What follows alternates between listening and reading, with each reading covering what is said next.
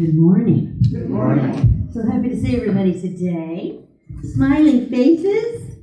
So exciting. I can't see your smiling faces over there on, um, where are you on YouTube? No, Facebook. What is it? Facebook. Facebook, sorry. Wrong media. And it will be YouTube later. Oh, okay. I know you're smiling. I know you're smiling. So happy to have everybody with us this morning. Dr. Maurita will be doing our service today. We have Julee Hickcox. I haven't been here in a while. So good to see you, Julee. Yay! Yay! Julee Hick- Hickcox will be our uh, special musician. We have Rick Milan as our in-house pianist, and he will be with us today also. So if you could please turn your phones off, we would appreciate that so they don't interrupt the service. And we are going to stand. One thing I forgot to do. We're going to sing our joy song together. So stand when you are able.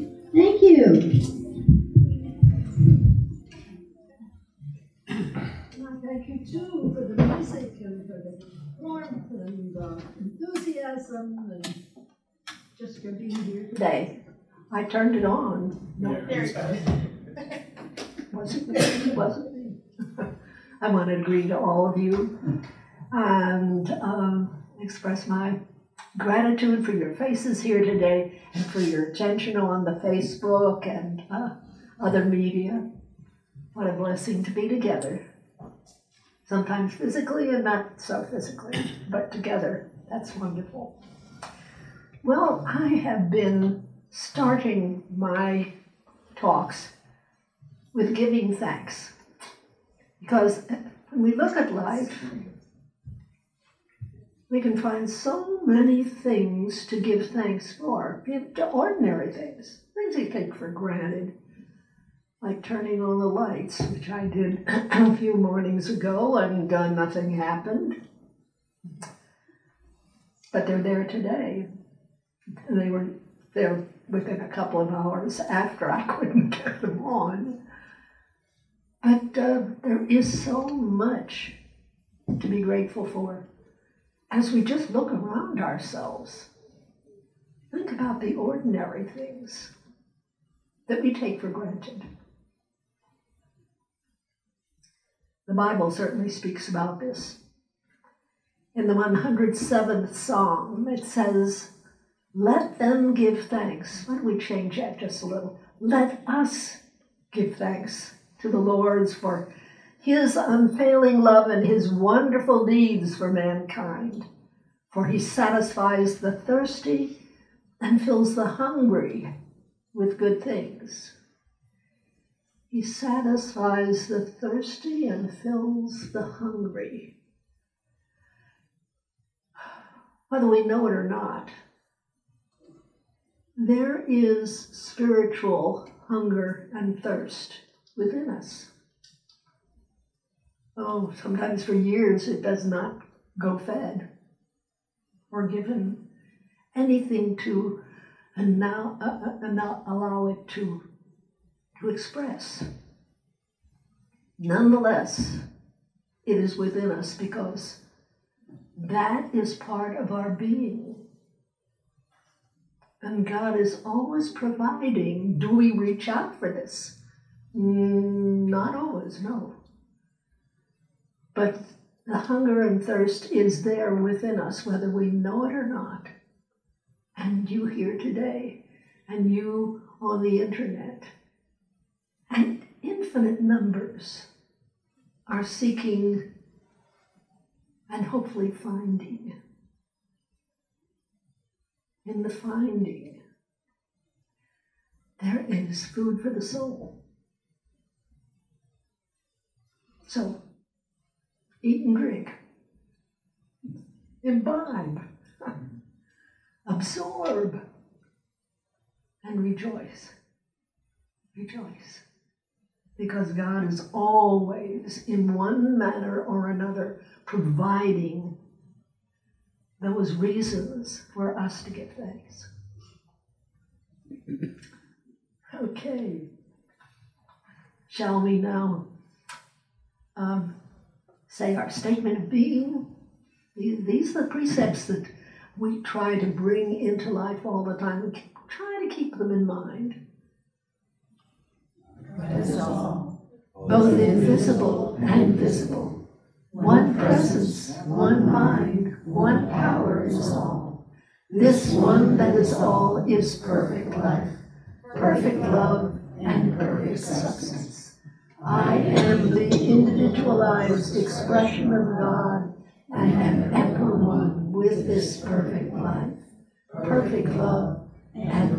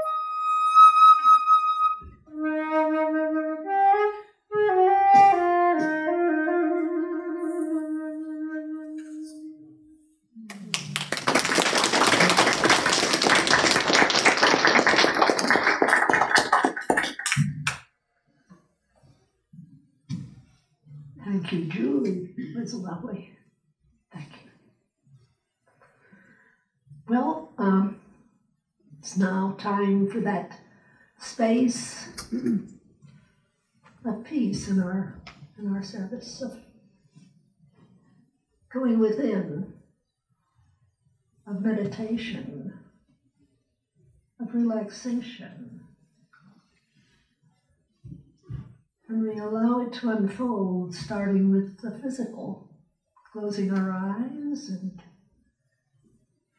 checking the, the body temple. Our faces, our jaws, shoulders. Let go. Let them all relax. Arms and hands.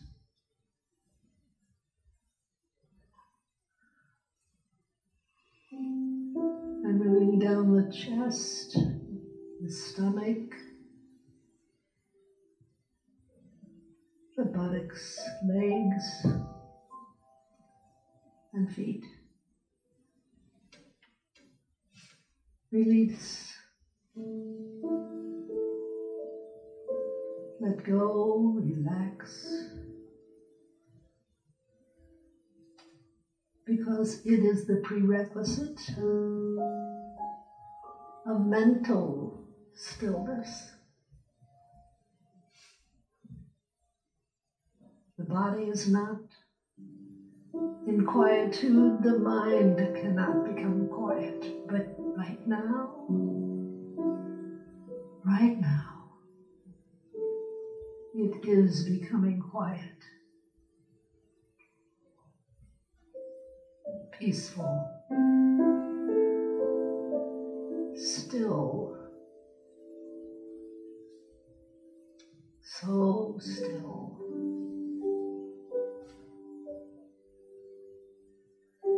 And in this stillness, we can come to feel a dimension of ourselves that is not readily available to us, not in the busyness and the stress and the pull and push of life. But here, now, we relax so deeply within it. The dimension of ourselves that is eternal.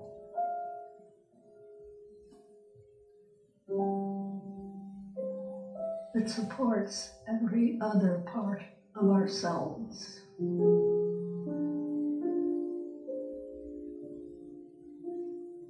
That is our ground.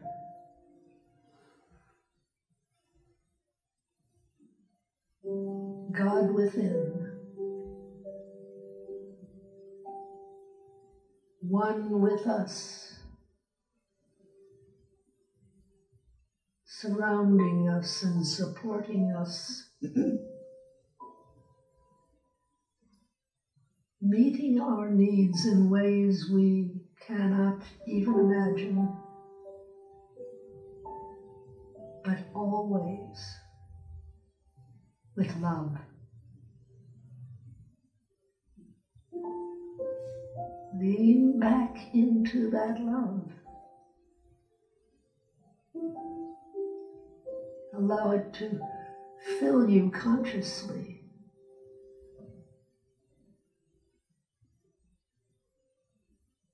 Draw from it a feeling of yes, yes, it will be all right whatever concerns me. I know that God is involved and all will be well.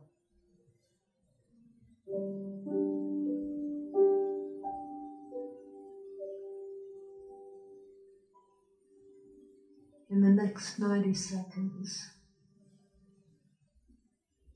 let us give it over to God, give it over to love and power and wisdom and all good.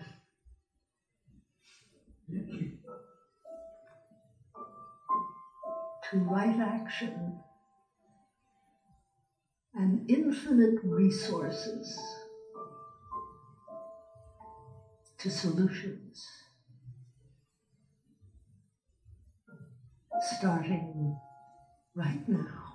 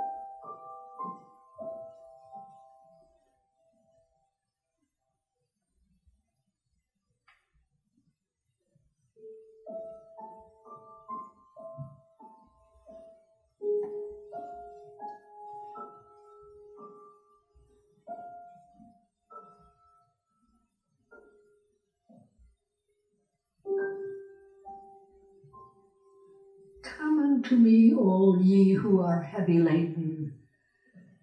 Anyone who carries problems, challenges, fears, negative anticipation, come unto me and rest,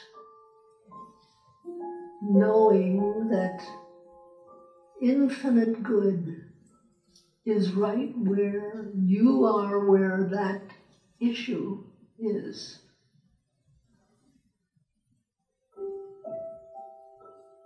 And all is well.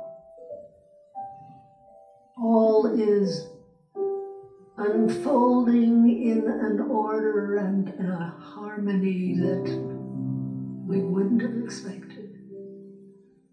But with God, all things, all things are possible. And this day we give thanks. Amen.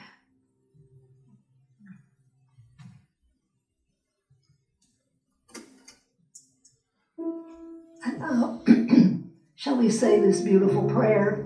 Translated into more modern language by Rocco Errico. Straight from the mouth of Jesus, these are his words Our Father, who is everywhere, your name is sacred, your kingdom is come, your will is throughout the earth, even as it is throughout the universe. You give us our needful bread from day to day and you forgive us our offenses, even as we forgive our offenders. And you let us not enter into materialism, but you separate us from error, because yours are the kingdom, the power, the song, and praise from all ages, throughout all ages, sealed in faith, trust, and truth. Amen. And Amen.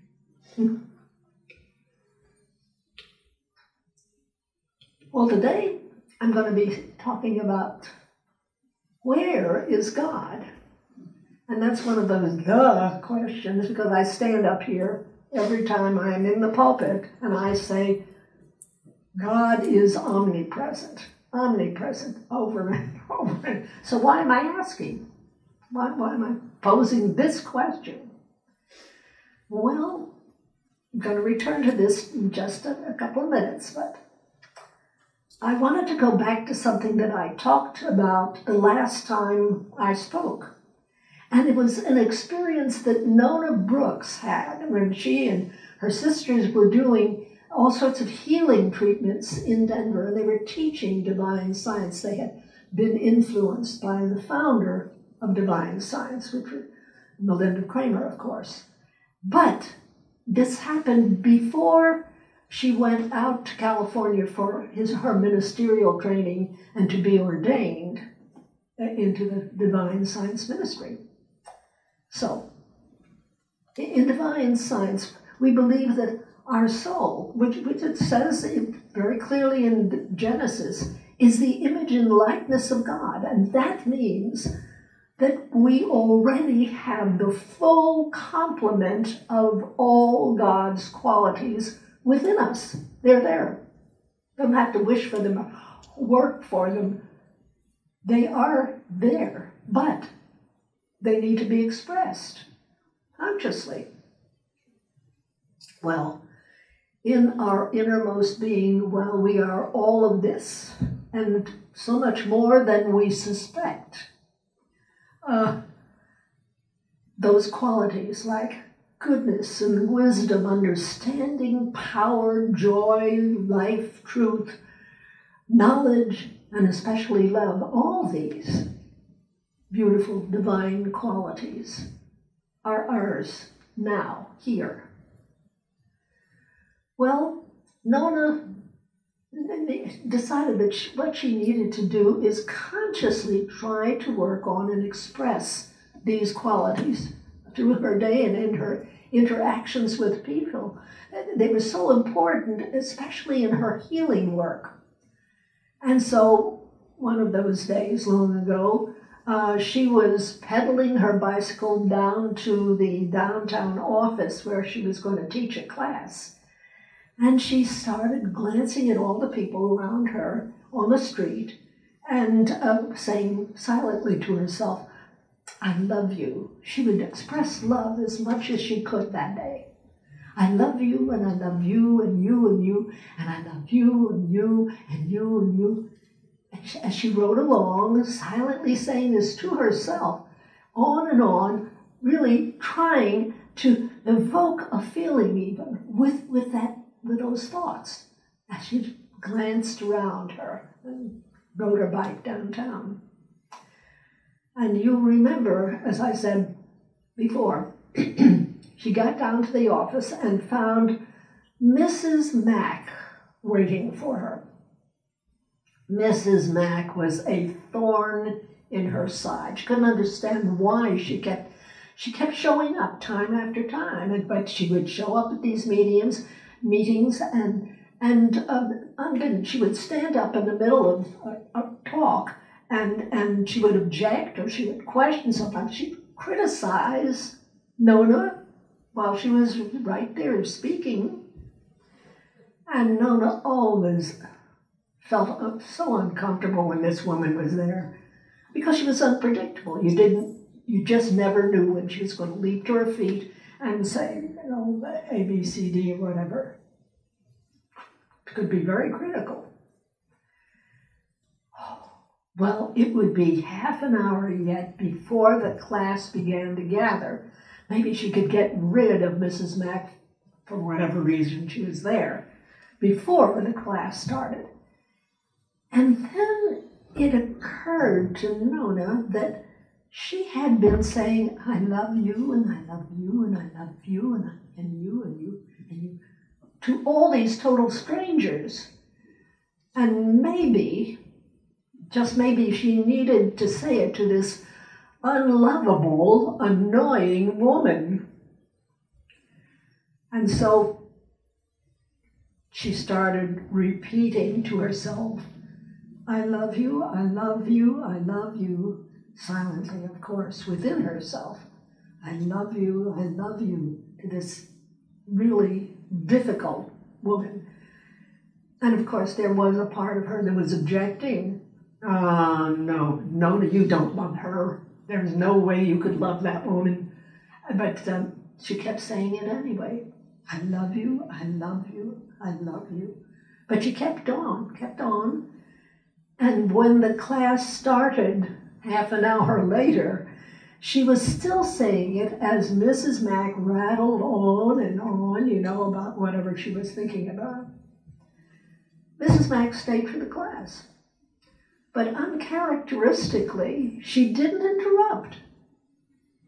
At the end of the class, Mrs. Mack did stand up, but this time, to everybody's amazement, she apologized to Nona and the whole class for all the disparaging remarks that she had previously made. She took all of them back, all. For the first time, she said, I understood what Nona and her sisters were trying to do, and she declared emphatically that they were doing a splendid work, a splendid work. Well, Nona was floored. She was astounded. And she thought, oh my goodness, could it possibly be that even speaking love mechanically at first, even if you don't mean it at first, just doing it just doing it and doing it can become so powerful. And she and many others that she described this to found that making the effort to express love, even when you didn't mean it at first, it just brought remarkable results. Why? Why should it make any difference? saying it inside yourself. Just making the effort to say those words silently, even, even if you don't feel them at first, gradually your feelings, as well as that subtle energy that goes between people who are interacting, begins to change. Your body language, your unconscious facial expressions, the words you choose, even, they're going to change. There's going to be a subtle change. And that will unconsciously affect the other person in a positive way because what's coming out of you is positive. Love heals, love transforms. It's such a wonderful way to harmonize any and every relationship in your life, especially the difficult ones, especially those. Now, I'm going to retreat again a little bit. I'm going back to the title of the talk. Where is God?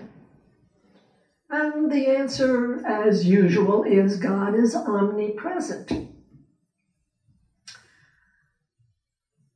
many, many years ago, 60 years ago, gosh.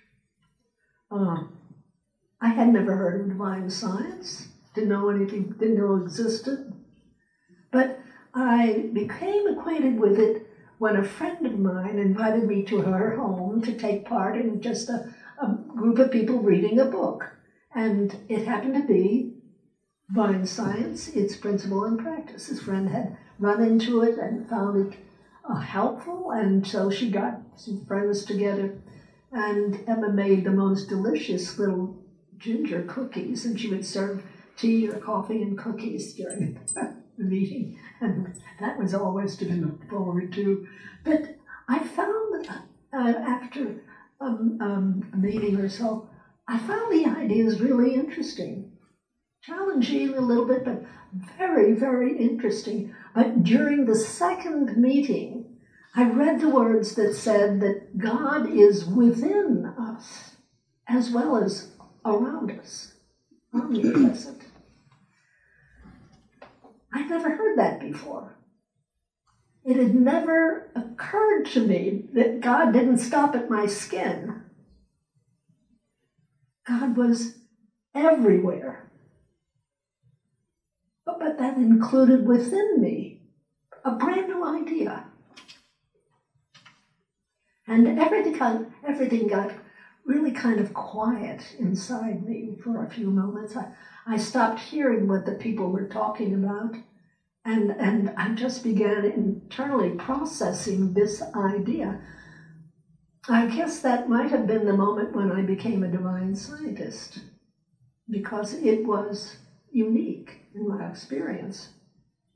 When I understood that God was in everything, everywhere,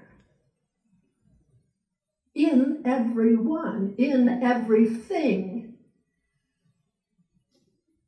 especially within me and everyone else, as well as outside of me, in everything. Where is God? Omnipresent. But have you have you ever questioned if he is where he is for you? For you. For instance, when you pray or you meditate, where does your attention go? Do your prayers go um, maybe to heaven, wherever that is? Or are your thoughts just directed somewhere out there, you know?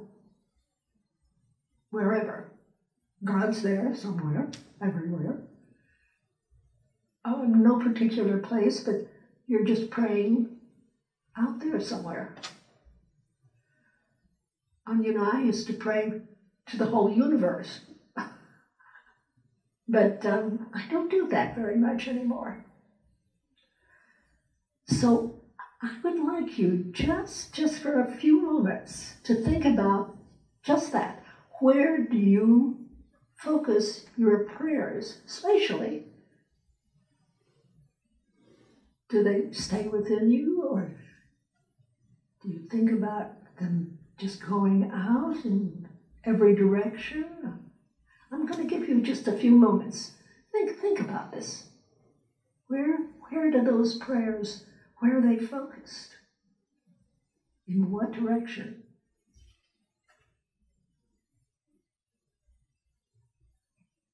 I'm going to give you just a few moments just to ask your, yourself that question and, uh, and find an answer.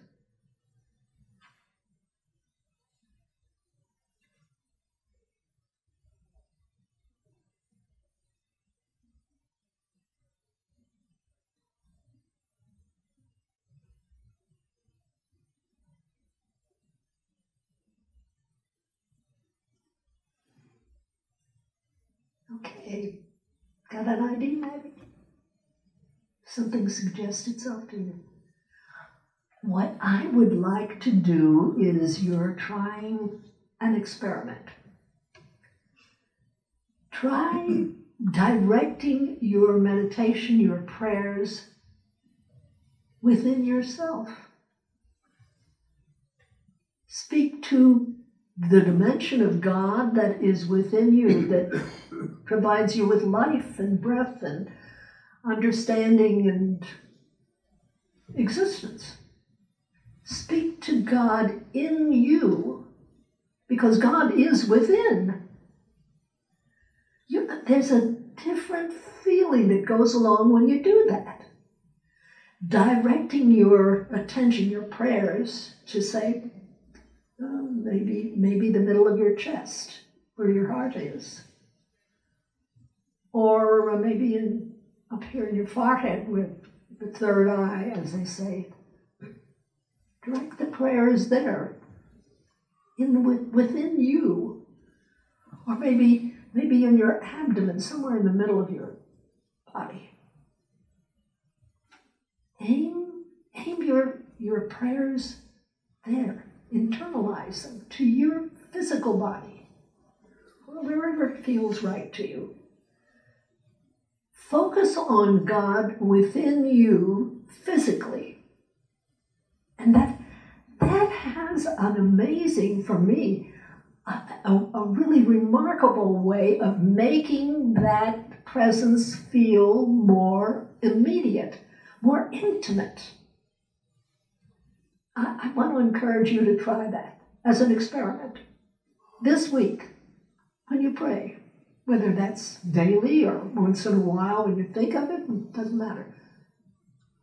Focus it inside because God is within. well, I'm going to do it again. I'm going to change another direction. There, just for a little while, because I'm, I'll bring it all back together at the end, I promise. In our church, we characterize God in a very, very different way than many other church denominations. There are lots and lots of successful churches. Their, parking lots are absolutely filled on Sunday morning. And they say that God judges us, God will get even with us, God is angry. God is angry and He punishes us by having us suffer forever because of our mistakes. We are basically sinful. That's what they, they tell their congregations week after week after. And on the other hand, we define God in such a drastically different way. We affirm that God is love. He never judges us. We judge ourselves, yes, but God does not judge us at all. He loves us unconditionally. Unconditionally, no, no conditions. God never punishes us for our mistakes. We punish ourselves. When we transgress the great spiritual law of as you sow, so shall you reap, whatever we do, we are actually doing to ourselves, either immediately or a little way down the road. But um, this law of sowing and reaping is designed not to punish us, but allow us to learn, to teach us the value and the wisdom of speaking and behaving to other people as we want other people to speak to us, to, to interact with us. If that great law of sowing and reaping, giving to others as you would wish others to give to you, if, if that becomes the guiding idea, the precept that we, we automatically follow in interacting with other people, we are guaranteed, guaranteed a life that is more peaceful, inward and inwardly and outwardly more successful, more fulfilling, more loving than any other way of living. Last Friday, we had an IANDS meeting. That's the, the International Association of Near Death Studies. And the speaker had stopped believing in God when she was a, a teenager. She couldn't see any reason to believe that there was such a thing as a God. She was a scientist, and that was her training all through school, and she became an atheist. She didn't believe in that. For 40 years or more, she thought that was a bunch of hooey, anything spiritual. Stupid. Unfortunately, while riding her bike one day, she was hit by a truck. And she had a, a near death experience while being operated on for the multiple injuries, uh, countless injuries that she had in her body. And in this near death experience, she found herself in the most beautiful meadow surrounded with mountains, but she was filled, surrounded with a peace and a love that she had never experienced in her life. Never. She never wanted to leave that, that wonderful feeling, and she thought to herself, How come I'm here? I don't believe in you. I don't believe that all this could be for me because I'm an atheist. And what she got back were the words, You are my child. Welcome home. Welcome home. The divine presence had accepted her back without hesitation, with complete love and compassion, despite all those many, many years of denial about anything spiritual. Actually, speaking out vociferously about the stupidity of it. Her profound experience underscores that God is love. Divine Science is a belief system that says that God is unconditional love. Unconditional. He doesn't punish us, He doesn't judge us. Just knowing the truth of God is so free, it's so enabling. We live without fear of God. And believe me, there are many people who do fear God. But it's easy to leave those beautiful thoughts as a strictly mental construct. It's, it's positive, it's helpful. But it could be so much more. I don't know about you, but I want, I want the experience of God without a medical emergency. I want that.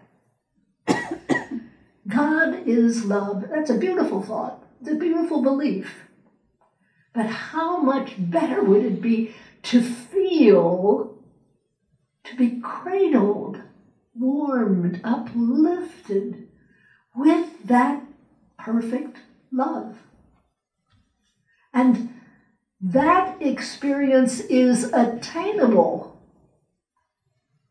Many people have had it who have not had a medical emergency.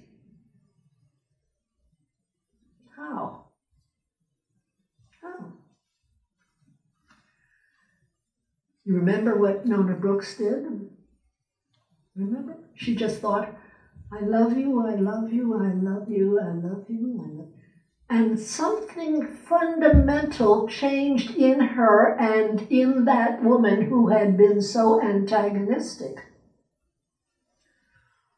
What if, what if we start saying, I love you, I love you, I love you, I love you, to God within us? What if we start doing that? Even if we say it just kind of automatically, just words, you know, first. But after a while, saying that those words begin to generate a new more positive feeling. Gradually, the feelings creep into the words. We begin, we begin connecting more and more with God indwelling us and saying, I love you, I love you, I love you, I love you. It's easy, especially when we find good things happening to us, and, and we find good things going on in our lives. When we notice perhaps the beauty of a, of a sunset or the flowers that are growing in our yard. Or, oh, even someone's beautifully mowed lawn. Beautiful. Looks so good. All those things around us. When something something occurs that just evokes gratitude, oh, thank heavens XYZ happened. Oh, I'm so glad XYZ is better and feeling better, someone we love. Or they escaped a really tough situation. Saying, I love you to God within. And gradually feeling it because it's inevitable. You say it, say it, and, and you feel it that could well breach whatever barriers are within us that could permit a life changing experience of God that could become an enduring relationship, an ongoing feeling of love and support and peace, assurance, good, within and without. Is it worth a try? Is it worth a try? Like, you're sitting in your car, you're waiting for the light to change, and nothing's happening, of course. And you start saying, I love you, I love you, I love you, I love you, I love you. Or you're sipping your morning coffee, or you're just sitting in your easy chair and looking at the wall on the other side. I love you, I love you, I love you, I love you, I love you. Is it worth reaching within you when somebody's late? You're waiting for them. I love you, I love you, I love you, I love you. Is it worth trying? to bring about that incomparable experience of knowing God yourself, feeling, feeling. Why not try the experiment this week? Why not try it? I love you. I love you. I love you. See what happens. Let's go with you.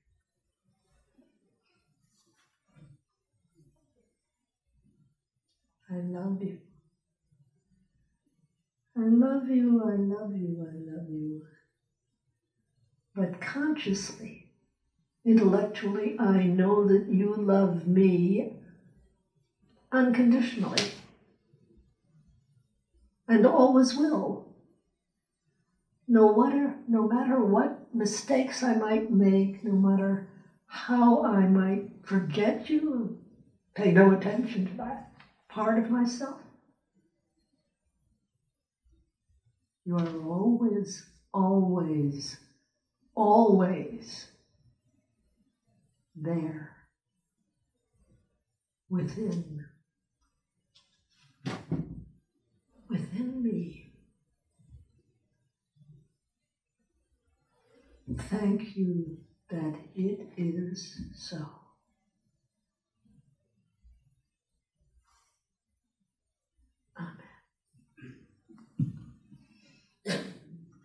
Amen.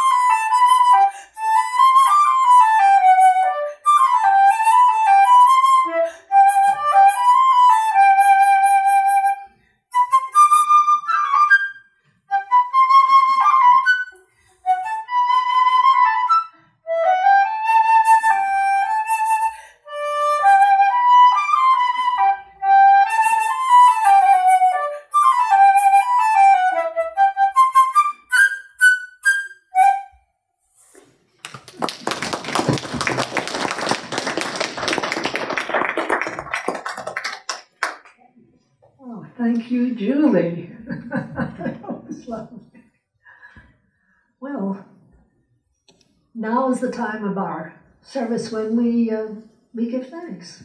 We give thanks for all the gifts that we receive in life and the, the gift of life itself. So shall we bless the gifts that we receive and that we give? Today I acknowledge God omnipresent as the source of all good, as the source of my good. With this acknowledgement, I accept God's will, which is abundance in every aspect of my life. I am open to thoughts of lack and limitation, and I am open and receptive to the increased flow of abundance to me right now. I joyfully accept the gifts of life and give freely of the special gift that I am. Through me, God omnipresent blesses and multiplies this gift for all. Thank you, dear God. I believe we're going to have some announcements.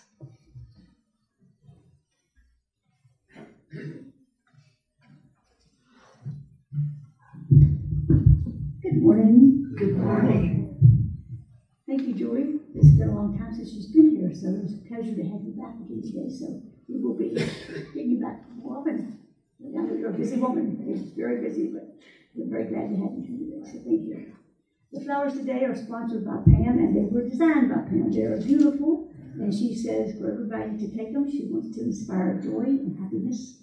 Well, thank you. So, as you do. So, so thank you, thank you very much for doing that. Uh, not much going on right now. Uh, Wednesday night is back to our coffee night. We'll be back on Wednesday night. We changed it last week uh, uh, to Thursday, but we're back on Wednesday night. And we're going to have book reading this week. Uh, I guess you're in town. Okay. So book reading will be at 5. And everybody's invited to all those things. So, so please feel free to come out. Um, the board members that are here, please, after uh, service, I need to talk to you for about five minutes if you don't mind. And uh, as I announced last week, uh, Maria is um, has had a birthday here sometime in the future, and she has requested that if anybody that normally gives her a present or wants to give her a present, instead of doing that, would they please donate some money to the church? So we have a box. Marlon. so uh, anyhow, we'll have the box out, and we'll leave it out to the end of the month. So if you uh, want to do, um, also well, not only for her birthday, but she has been uh, serving this church for 51, 52 years, and so we're very, very grateful for that. So, uh,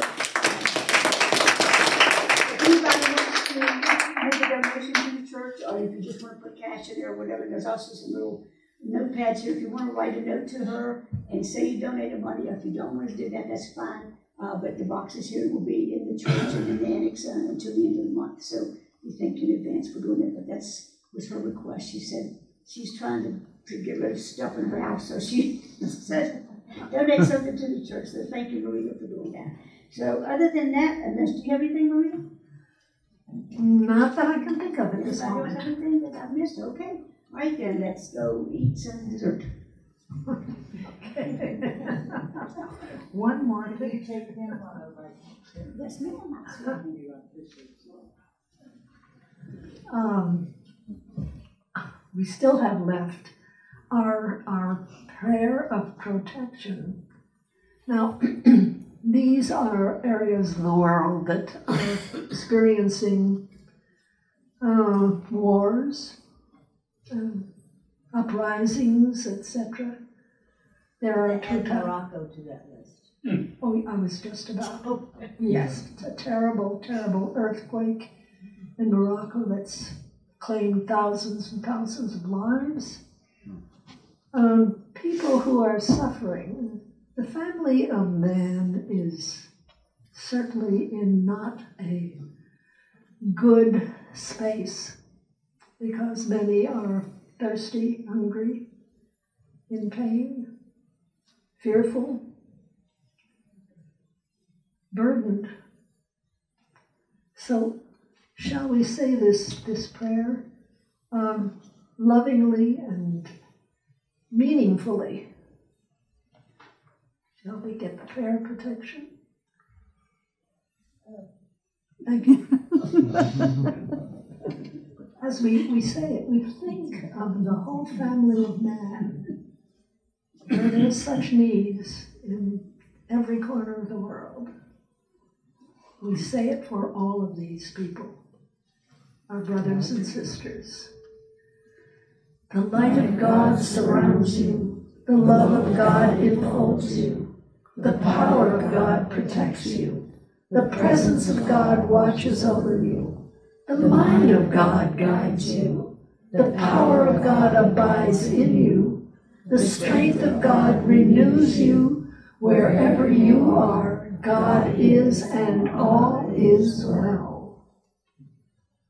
And finally, we spend a little time blessing our own country because certainly at this time there has been such oh, such rending of connections between people. This is, it, it is sad, it is harmful, and it is an opportunity. So in the next 60 or so seconds, I invite you to pray for the people of our country. That prejudice stops, that hatred of others stops, that fault finding, criticism, anger toward one another ceases and is healed and becomes acceptance and respect, honoring the other, no matter how different, blessing them and ourselves.